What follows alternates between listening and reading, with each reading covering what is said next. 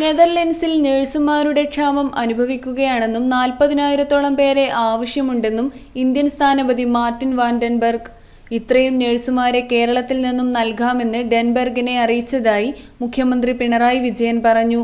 ഡൽഹി കേരള ഹൗസിൽ നടന്ന കൂടിക്കാഴ്ചയിലാണ് നെതർലൻഡ്സ് സ്ഥാനപതി ഇക്കാര്യം അറിയിച്ചതെന്ന് മുഖ്യമന്ത്രി ഫേസ്ബുക്കിൽ കുറിച്ചു. ഇത് സംബന്ധിച്ച തുടർ നടപടികൾ എംബസിയുമായി ഏകോപിപ്പിക്കുന്നതിന് റെസിഡന്റ് കമ്മീഷണർക്ക് നിർദ്ദേശം നൽകിയതായും മുഖ്യമന്ത്രി ഫേസ്ബുക്കിൽ പറഞ്ഞു. S news Thiruvananthapuram.